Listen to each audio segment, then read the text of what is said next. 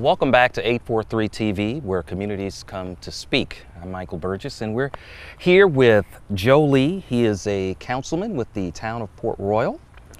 And until recently, WHHI was mostly visible in Hilton Head Island.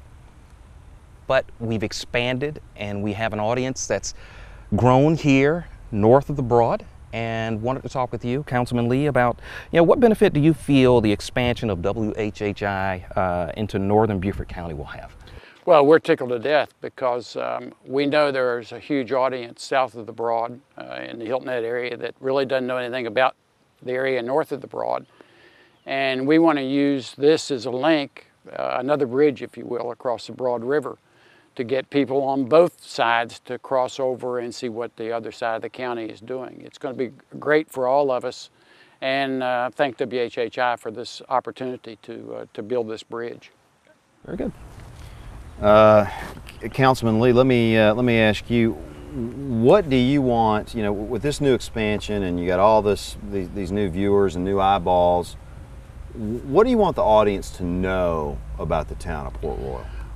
Well, first of all, we're, uh, uh, we're larger than most people think we are. We, uh, we want people to come and visit and people say, well, what can we do?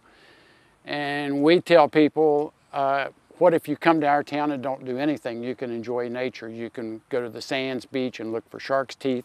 You can walk along Battery Creek. You can uh, see the dolphins play.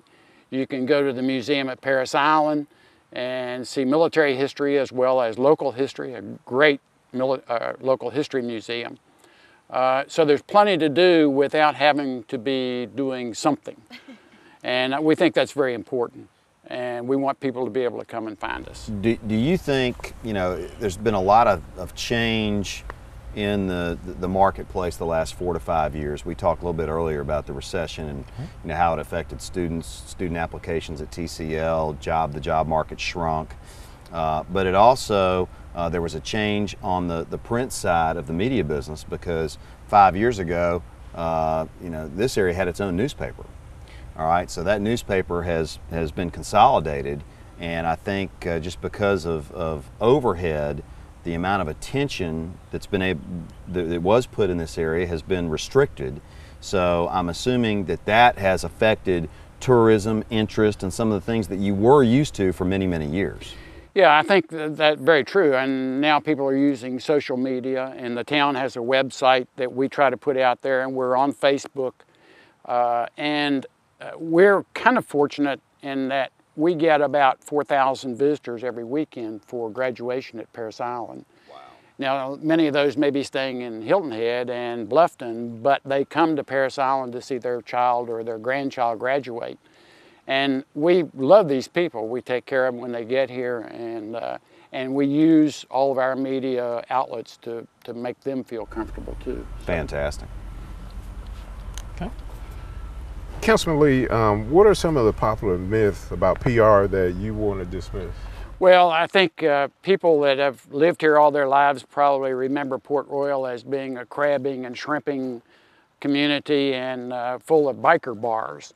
And uh, I have to tell you that, uh, first of all, uh, I, I, referred earlier to Port Royal being larger than most people think.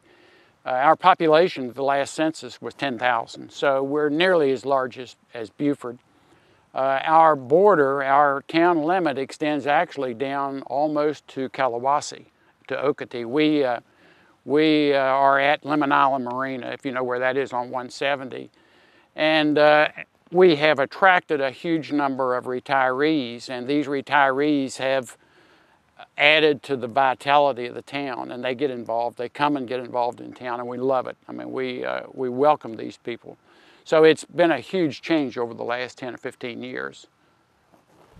So what is the status of the sale of the port property?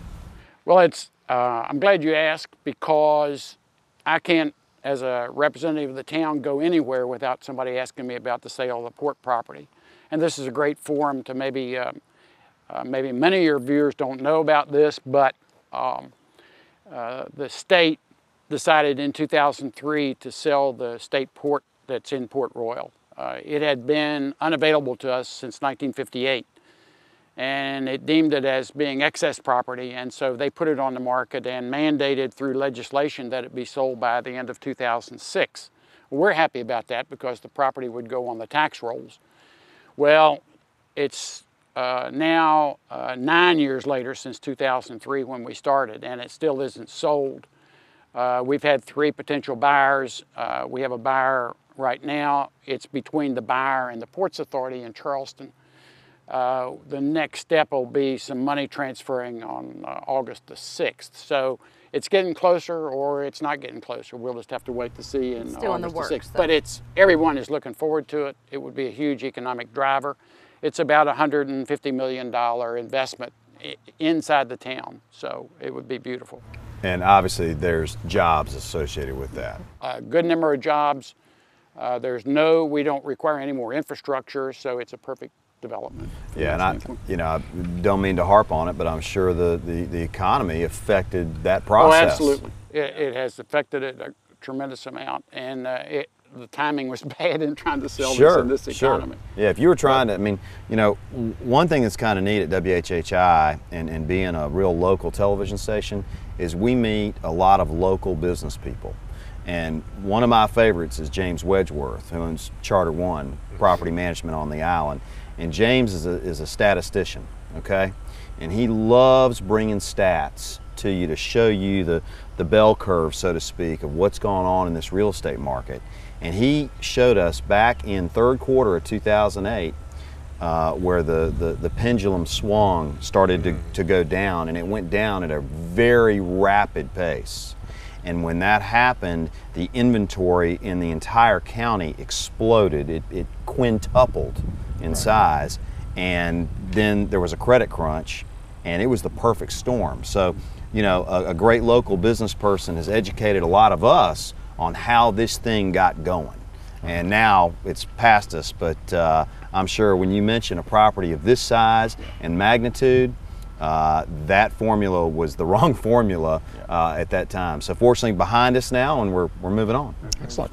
Well, Councilman Lee, we want to thank you for taking the time to visit with us. I'm happy to be here, and I look forward to this opportunity. It's been Outstanding. a lot of fun. Okay. Well, thank you all for watching 843 TV. Stick around. We'll be right back.